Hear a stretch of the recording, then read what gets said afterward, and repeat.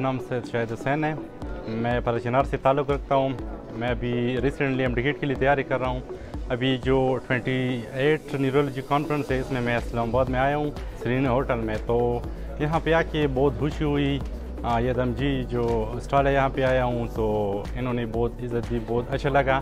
तो इन उम्मीद है कि और भी आ, लोगों में अवेयर अवेयरनेस पैदा होगी इससे और लोग आगे मोटिवेट होंगे इससे। शुक्रिया।